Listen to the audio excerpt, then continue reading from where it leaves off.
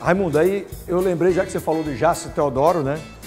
É um grande culto, homem maravilhoso, cultural e, e, defende todas as leis, essa coisa toda. Eu lembrei da história do cara que, policial que prendeu uma mulher, mulher da vida, né? Mulher que fazia uma coisa só na vida, ela era mulher da vida.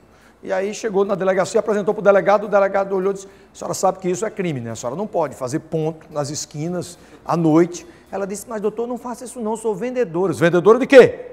Vendedora de preservativo. Aí eu ofereço o teste gratuito, né? Só isso.